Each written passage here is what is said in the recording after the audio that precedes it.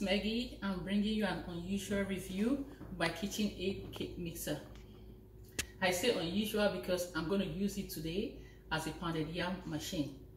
This is also an off-label use because it's not listed as one of the uses of this product, but it does work efficiently. So today, even though we have three components here, we're going to be using the spatula component. When it revolves around, it scrapes your pounded yam effectively and mixes it well. I have the anti-splatter so that it doesn't spill. And this machine has a lever that helps you take it up or down as you need it. It's also a 10 speed machine. But usually with the Poundo, you'll be good at two to three speed, right? So this is my African yam. I know that this review is especially useful for my African Americans, you know, African origin who are used to having their original pounded yam. So I will peel the yam and um, a good tip, when you're peeling this yam, make sure you have them in thin slices so that it can cook efficiently and avoid using putting in the head so that it doesn't give you lumps. So I'll go on now to cook the yam. I cooked yam, so I'm going to scoop it into the bowl and turn it on. You can see it's very well cooked.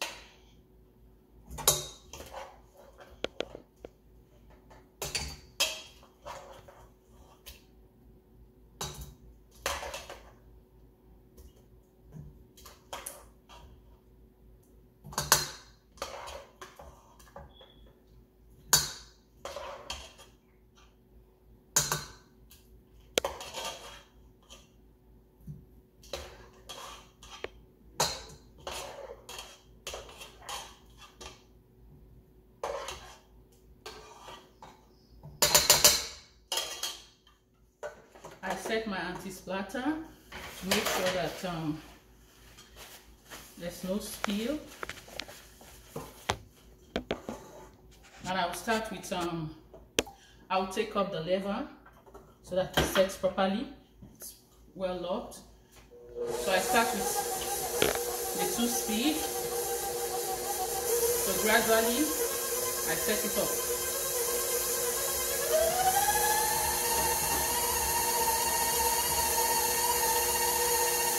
Right now this is pounding at um, speed 4.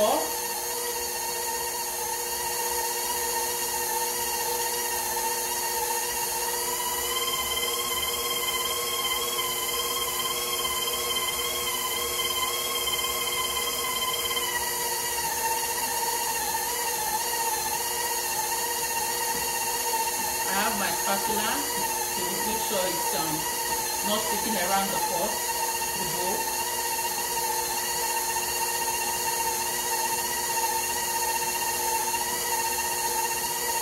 I will stop the machine briefly to put the yam together.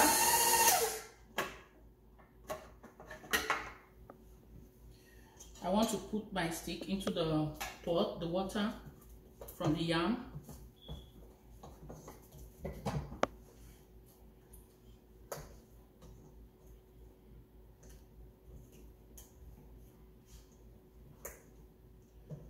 This is a preview of the handle yam you can already see that it's coming out nice.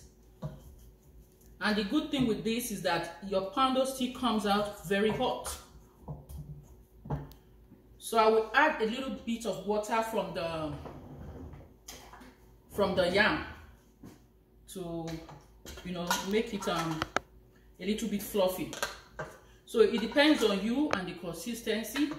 Some people like to eat their pounded yam very hard. I like mine in between. So I will just put it on for the last time.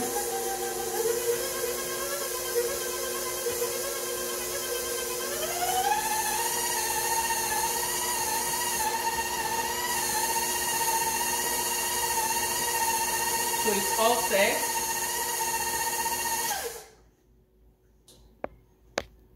So here is our pounded yam, all set and smooth. So I'll just cut it into my, my big bowl for serving.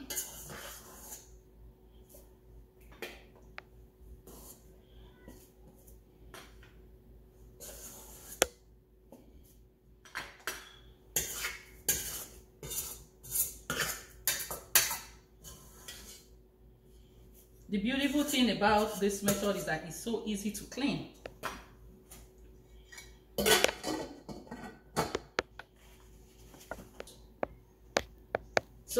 Here is our pounded yam, all set and smooth. So I'll just cut it into my, my big bowl for serving.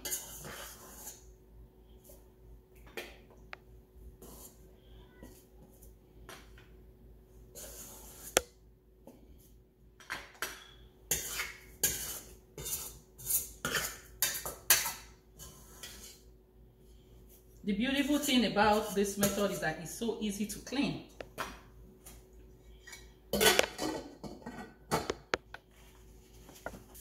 And some of you will be wondering, what is she gonna eat this pounded yam with?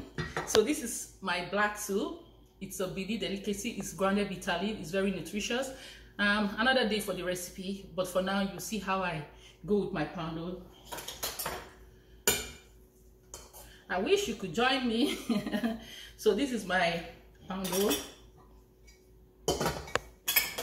And I'm gonna take some of my green soup so the recipe can be for another day, but I've made it the native way, blended my palm and eh, bitter leaf very well.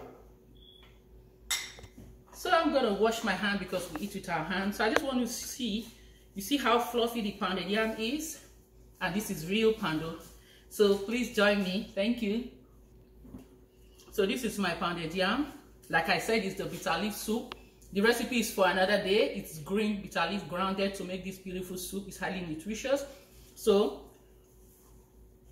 as you can see, it's very fluffy and it's still very hot.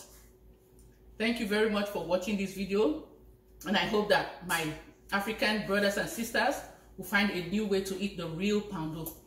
You can use any type of cake mixer in the um, KitchenAid range.